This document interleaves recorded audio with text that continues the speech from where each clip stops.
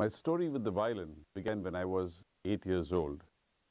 I was taught the instrument by my father. I grew up at a time when parenting was very authoritative and strict, nothing like what it is today. I was forced to practice playing the violin daily for an hour each day. Though at that time, this instrument was not so much of a passion to me, instead I preferred learning the guitar, but I had no choice. It was more of a parent's decision rather than my own. So I had to go through with this regimental training for 10 long years until I was studying in school. The moment I started my working career, I stopped playing the violin and stopped practicing. It was more of a kind of a rebellious act rather than a situation where I was too occupied uh, pursuing my working career.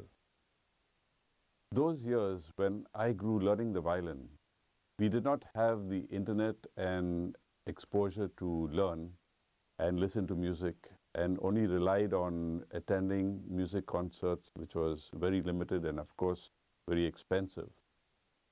In later years, when the internet began to gain momentum, I had a lot more exposure to watching violin concerts and programs online.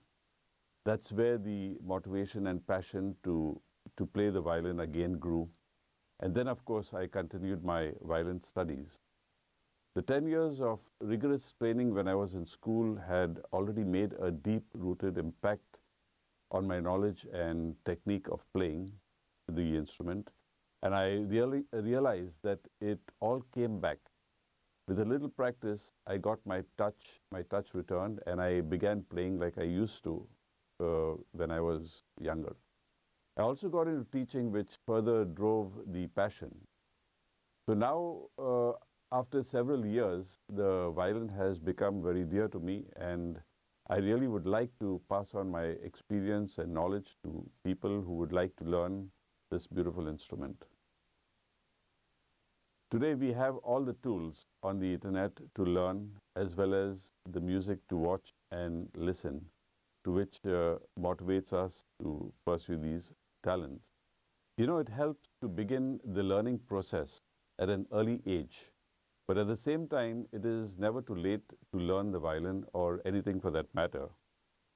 It's not about the ability to perform like a maestro, but it is just about enjoying playing this beautiful instrument and, of course, enjoying music.